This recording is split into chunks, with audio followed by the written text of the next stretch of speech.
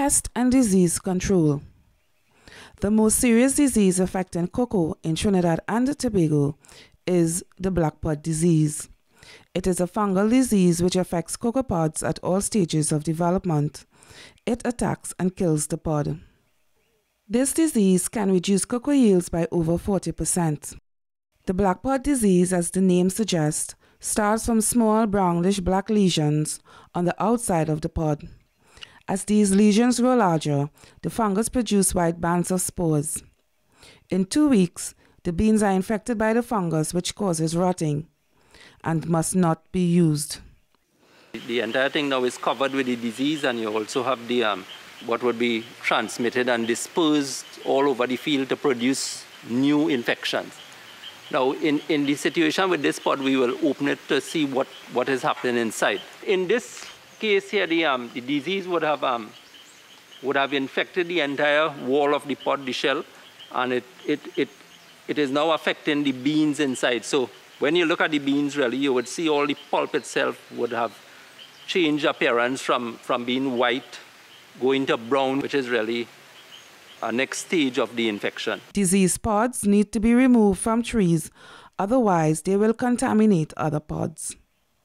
The spores that are produced in huge numbers are spread by rain, wind, insects, rodents, and birds.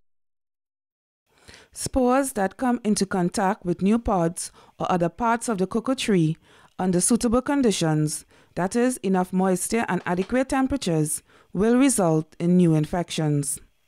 Spores from disease pods that fall to the ground remain dormant over long dry periods. When the soil gets wet during rainy periods, these spores germinate in the soil.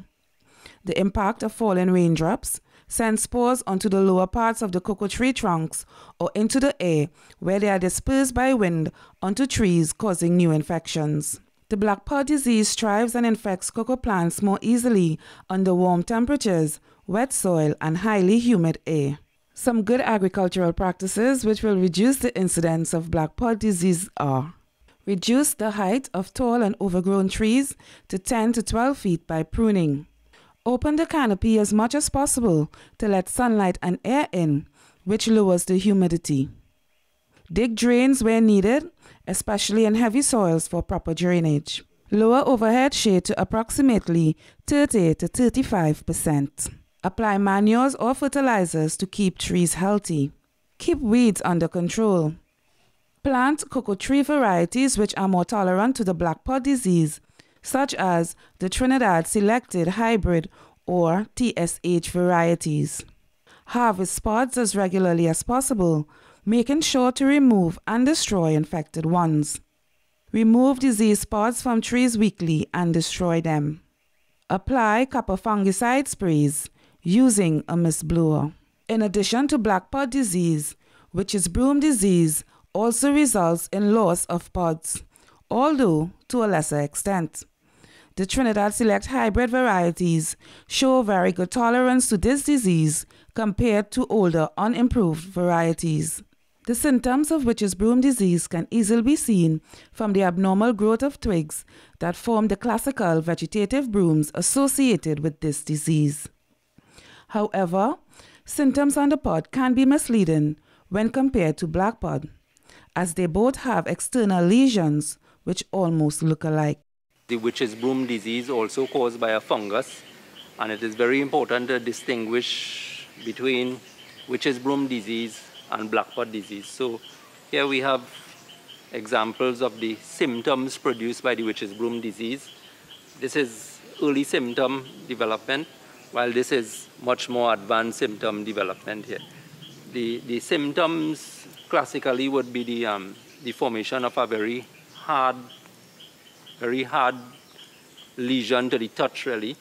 You would have a yellow type halo around the lesion.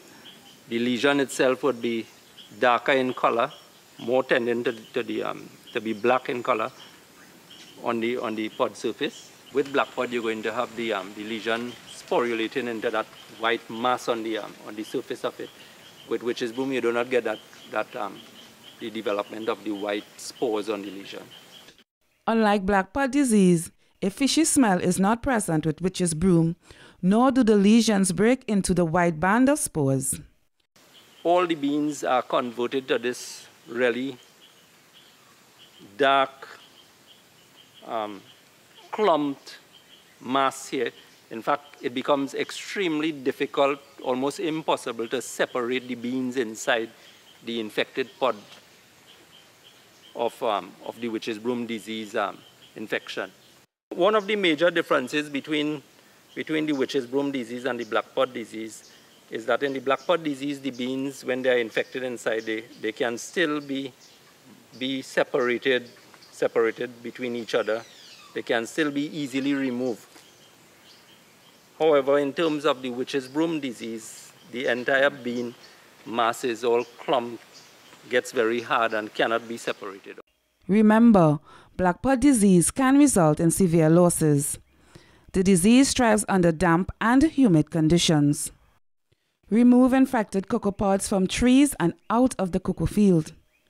Practice good field sanitation. Learn to tell the difference between black pod and witch's broom diseases. Observe young trees for symptoms of cocoa beetle damage. The cocoa beetle. In cocoa, the most prevalent insect pest problem is caused by the cocoa beetle, Steirastoma breve. The adult scrapes the bark of young branches and twigs, while the larval stage can girdle the trunk of young trees, resulting in death.